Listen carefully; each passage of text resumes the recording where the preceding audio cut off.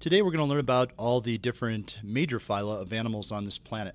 Remember that kingdom Animalia has eukaryotic cells, no cell wall, all multicellular, heterotroph, and move at some point of their life. Now, today we're going to be um, getting a lecture on some of the information that you need to know about the different animal phyla and some of their characteristics. While I'm discussing this, I'm going to have you work on your flashcards. So, we're going to be getting about 13 different uh, flashcards for uh, a front and back side that has some of the information that you need to know. While I'm uh, discussing this, feel free to work on the flashcards and pause and stop and listen to the lecture if you need it. Next class, we have a flashcard only quiz, so make sure you're ready for that. Anything you don't finish up in class is homework. This will be at the beginning of class. You can't use the handout they give you on your flashcard only quiz. I want you to have study material. All right, this is called a cladogram, and a cladogram shows the evolutionary relationships between different organisms going back in time. So, this multicellularity here is the precursor or the ancestor of all animals, and this was a very long time ago, hundreds of millions of years ago. The first type of animal we find in the fossil record are the sponges. Then next we find the cnidarians, flatworms, roundworms, mollusks, annelids, arthropods, echinoderms, and lastly in the fossil record we find chordates. Now tomorrow we're going to do some practice with these cladograms, these family trees, but anytime there's a branching point, here, here, here, here, those are the common ancestors to whatever branches from that point. So there's a common ancestor to roundworms and insects at this point. Now, this organism is not a roundworm or an insect, it's something that is simpler. Um, and sometimes we have this transitional fossils, sometimes we don't. Every time we discover a new fossil in the fossil record, we can place it somewhere along this um, timeline, and um, it always matches up, whatever we find. We never find chordate fossils in the oldest fossil layers of animals with the sponges. So, the other way you read this, again, the branching point is a common ancestor, is everything after these little dots here have this characteristic. For example, multicellularity, everything after this dot, which is all animals, are multicellular. Over here we have tissues. Everything after tissues is an animal with true tissues or groups of cells with the same function. Sponges, however, do not have true tissues. They have a generalized type of cell that doesn't form tissues. Here we have radial symmetry in the cnidarians, the jellyfish, bilateral symmetry, two sides being mirror images, every other animal, including the echinoderms. As a larva, they have radial uh, bilateral symmetry, but as an adult, they have radial symmetry. There's only two animals on this planet that have radial symmetry, and we'll talk more about what that means later the cnidarians and the echinoderms. All right, then we have protostomes, so everything after this is protostome up to deuterostome. Coeloms, coeloms are body cavities, so everything after coelom has a body cavity. These guys here, the roundworms, have a false body cavity. Mollusks, annelids, and arthropods are all protostomes. And here we have deuterostomes, which we'll talk about soon. Deuterostomes include only two phyla, the echinoderms and the chordates, the starfish and animals with a backbone. There's three major classes under phylum Arthropoda. That's Crustacea, Arachnida, and Insecta. And under Chordata, we have five major classes the fish, amphibians, reptiles, mammals, and birds. This is found on page number um, 747. So open up your book to page 747, and uh, you can copy this into your uh, notes on the front of your page. Let's go ahead and spend about five minutes finishing up our cladogram here, and after that, we'll move on.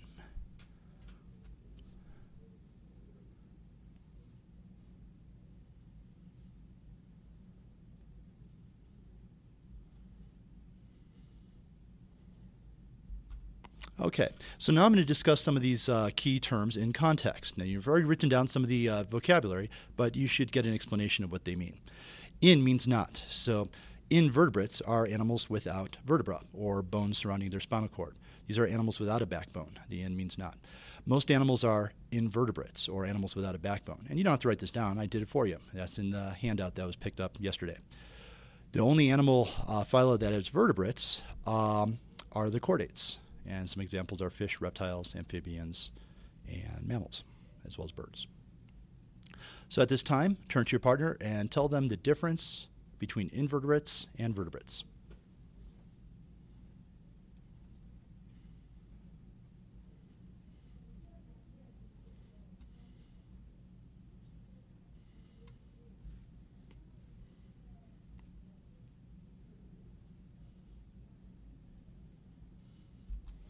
All right, let's look at some more trends that we see to help animals survive and reproduce, especially on land. Uh, we're going to be talking a little bit about land adaptations as well.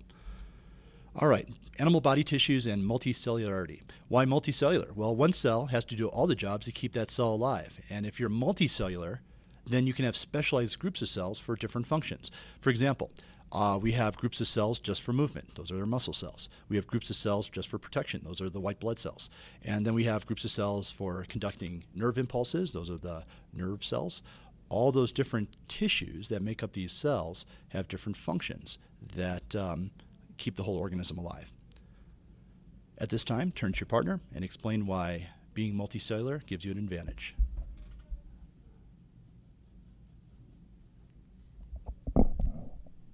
Think about if you were a single celled organism, how would you get across the classroom?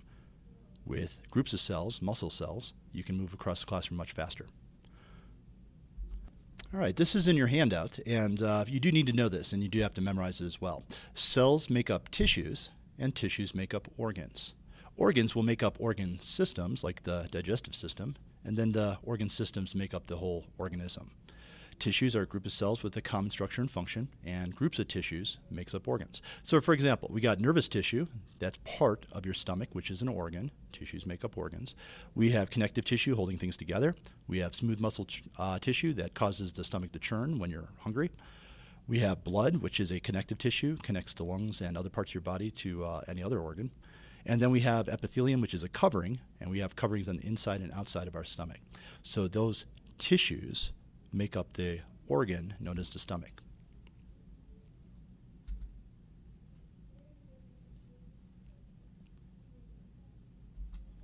All right, body symmetry. There's only one animal on this planet that has no symmetry at all, and that's phylum Porifera, the sponges. So that one's an easy one to remember. There's only one, no symmetry. And there's no symmetry means that one part is like a mirror image of the other part, and there's no part here that's a mirror image of any other part. Radial symmetry means that at a center point, you can cut through that center point, and every slice will be equal to the size. Think about like cutting a pizza through the center. That would be an example of like radial symmetry. And there's only one animal with true radial symmetry, and those are the jellyfish, the cnidarians. The only other animal that has radial symmetry are the starfish, but as a larva, they have bilateral symmetry. They only gain that radial symmetry as an adult. Most animals have something called bilateral symmetry, where one side is a mirror image of the other side. Here we have a uh, some kind of insect, and the one side of the insect is a mirror image of the other side, and that's called bilateral. We have bilateral symmetry. Turn to your partner and explain bilateral, radial, and no symmetry.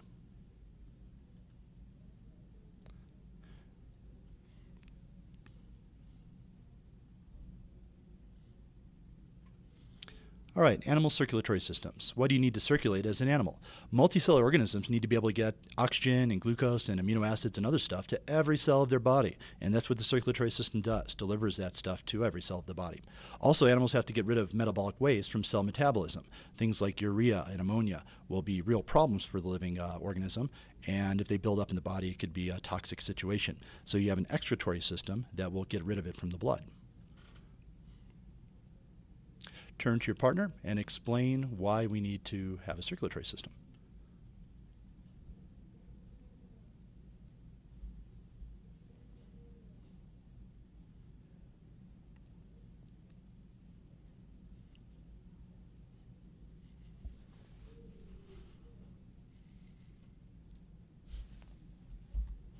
Simple diffusion. Now, if it's a simple animal like the uh, jellyfish, the cnidarians, they don't have a circulatory system. They just have simple diffusion. They break down their prey. This is not a bird. This is a Daphnia, a small animal.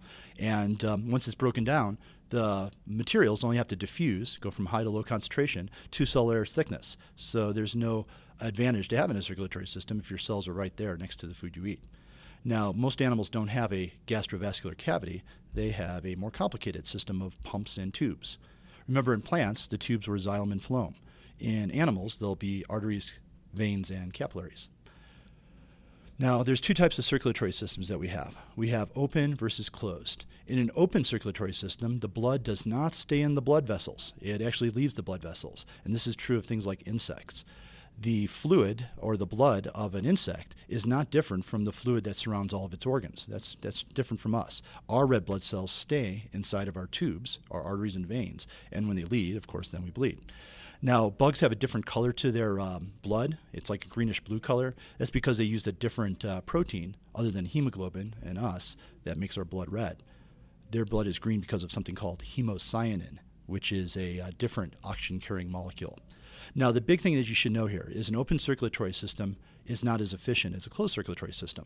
Once the blood carrying all the good stuff like glucose and amino acids leaves the tubes, then you have to rely on diffusion which takes a long time over long distances, which kind of limits the size of these bugs. It's one reason why bugs don't grow to the size of houses. If they did, you'd have to rely on diffusion once the blood left those tubes to deliver stuff to all the cells of the body, and uh, that would take too long to keep that thing going. In fact, even those prehistoric uh, insects like the dragonflies probably were fairly slow because of the limitations of an open circulatory system in delivering stuff to all the cells of the body. Now, a closed circulatory system is a little bit more uh, advantageous. We can deliver those glucose molecules and red blood cells with the oxygen right up to the cells of the body. It's a more efficient system. And the simplest animal to have that are the earthworms, not the other worms, not the roundworms or the flatworms, just the annelids or phylum Annelida. Here we have some uh, different types of hearts that I'm going to talk about now. Fish have a two chambered heart. They have one atrium and one ventricle. And this one ventricle that does all the pumping has to pump to all the cells of the body and to the gills of the fish. You do have to know that fish have a two chambered heart. Don't worry about writing this down or anything. We're going to review this tomorrow.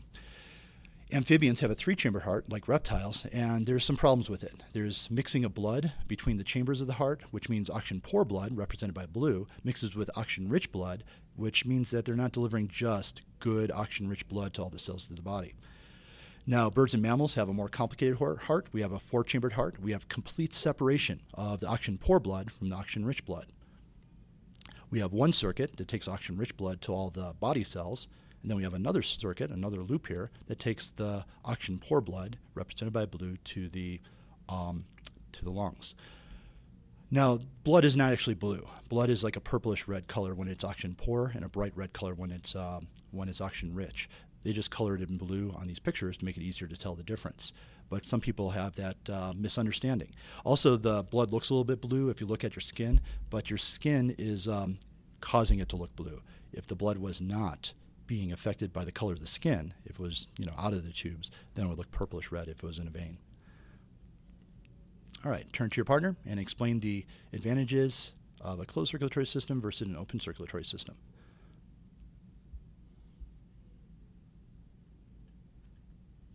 All right, animal respiration, gas exchange. Why are we exchanging gases? Well, we have to get oxygen for cell respiration, and we have to get rid of carbon dioxide, which is a waste product of cell respiration.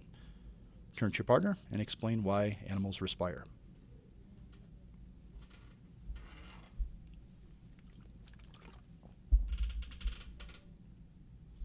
All right, so we have some gas exchange in many forms. Here we have a one-celled organism. They just rely on simple diffusion, high to low concentration. Amphibians are interesting because they can breathe through their skin. Uh, as a result, however, they have very thin skin, which doesn't offer them much protection.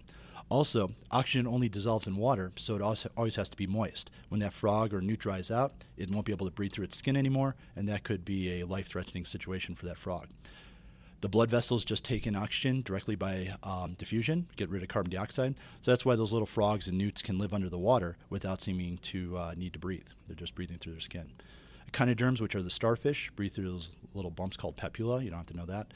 Uh, insects breathe through these breathe through these holes in their side called spiracles. They don't breathe through their mouth. They only eat through their mouth, unlike us. Fish have gills, which just have lots of little blood vessels for exchange of gases. And then mammals have these little sacs within our lungs called alveoli for gas exchange from high to low concentration.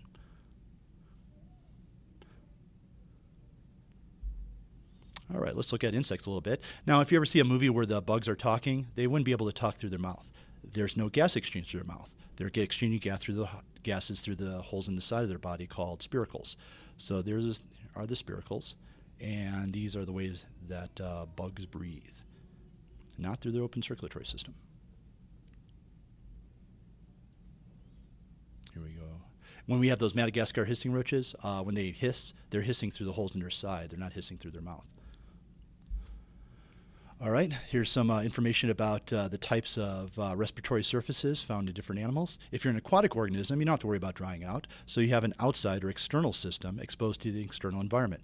If those fish gills ever get dry, they won't be able to uh, exchange gases anymore, But since they live in the water, that's not really a problem, is it? So aquatic organisms, there's no survival uh, value, uh, selective pressure for internal respiratory surfaces because you live in the water. Terrestrial or land surfaces are a little bit different. We have internal gas exchange surfaces on the inside of our body prevent from drying out. That's why your lungs are on the inside and the gills uh, of a fish are on the outside. We're a land animal, so we have to keep those respiratory surfaces moist on the inside of our body.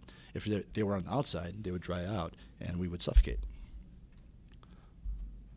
All right, let's pause at this point and explain the differences in respiration between animals, um, amphibians, insects, fish, and mammals. Look at the handout if you need to.